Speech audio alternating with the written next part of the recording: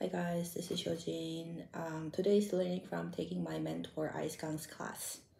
Um, by the way, my mentor's name is Ice Kang and he's teaching sales, training, business marketing, and he's training people to be happy and be successful. He's teaching in Korea.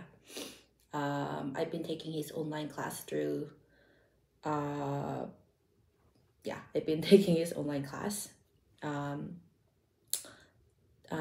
and uh, I'd like to share with you what I've learned from his class today. Um, basically, what I've learned from his class today don't be wishy washy, have my own opinions. Um, also, another thing, don't be so nitpick about spending tiny bit of tiny bit of money.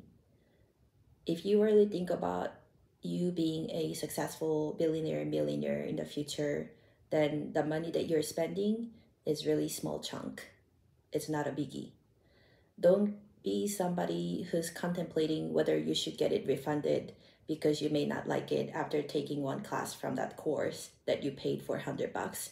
Don't be that person and just spend it. Just take it. And then if it's not the right one, then spend another one and until you find the right one for you. Right course, right mentor um yeah. It's all about your perspective. Yeah those are the two things that i learned from taking his class today. All right bye now